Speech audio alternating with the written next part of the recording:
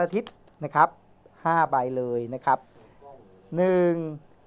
2 3 4 แล้วก็ 5 ดูนะครับ คนวันอาทิตย์ในช่วงนี้ครับเมจิเชียนเลยไพ่เมจิเชียนนี่คือไพ่พรสวรรค์ความสามารถ ช่วงนี้คนวันอาทิตย์จะเก่ง จะมีหัวคิดริเริ่มสร้างสรรค์ หรือว่าจะทำอะไรใหม่ๆนะครับเมจิเชียนนี่เป็นไพ่พรสวรรค์เพราะฉะนั้นมันจะมีความโดดเด่นทางด้าน ความสามารถภาษาการพูดการคุยนะครับ ใบที่2นะครับราชินีเท้าความขยันกระตือร้นก็ลองเรียกว่าผู้ชายวันอาทิตย์ผู้หญิงวันอาทิตย์หรือแม้กระทั่งเพศที่ 3 วันอาทิตย์เนี่ยจะมีความกระตือร้นในช่วงนี้นะครับแล้วก็ใบที่3นะครับ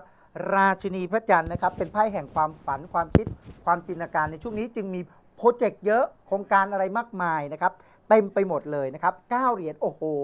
ถ้าใครมีโปรเจกต์ใหม่ๆ หรือว่าการจะทำอะไรนะครับ จานแนะนำเลยนะครับว่าทำเลยในช่วงนี้มีโอกาสประสบความสำเร็จการเงินการทอง โดยเฉพาะคนที่เป็นในเรื่องของความสวยความงาม หรือว่าการเป็นเซลล์ การพูดการติดต่อการค้าขายจะได้ดีนะครับ ใบที่ 5 นะครับ 10เมษาโอ้โห ต้องบอกว่าขยันเลื่อนขั้นเลื่อนตำแหน่งหรือว่าทำงานเพิ่มได้ มาดูเรื่องของความรักนะ ช่วงนี้คนวันอาทิตย์จะมีเรื่องของความรักเข้ามา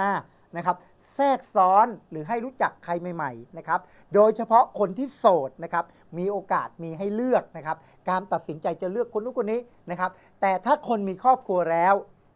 ต้องเตือนนะครับ ระวังสักนิดหนึ่งช่วงนี้ หัวใจของคนวันอาทิตย์จะว้าวุ่น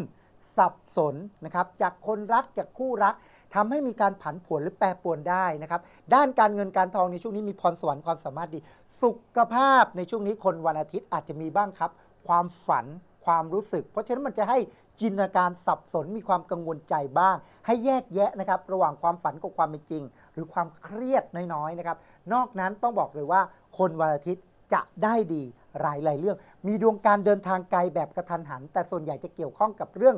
การงาน